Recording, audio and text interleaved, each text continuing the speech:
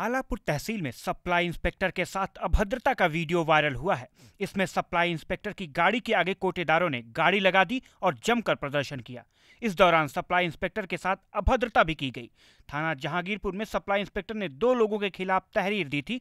Police ने उन्हें गिरफ़्तार कर जेल भेज दिया है।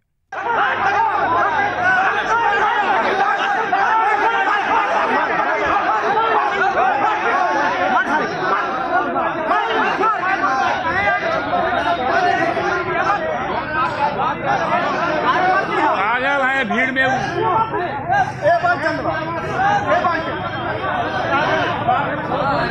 ए भैया।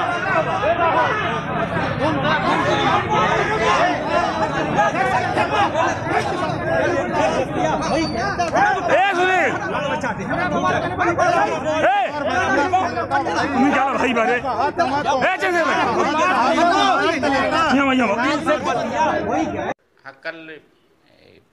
आलापुर तहसील में घटना हुई थी सप्लाई इंस्पेक्टर के साथ। कुछ लोगों ने दुर्व्यवहार किया था। तो उसका तीन सौ तिरपन, तीन सौ इकतालीस और गाली गलौज की धाराओं में मुकदमा दर्ज है और उसमें दो अभियुक्त, चंद्रशेखर यादव और और हौसला यादव करके हैं। दो लोग अरेस्ट किए गए हैं। जेल भेजे जा रहे हैं और एक और अभियुक्त है जो शोभा सिंह करके है। वो फरार चल रहा है। उसको भी हम लोग शीघ्र गिरफ़्तार कर लेंगे।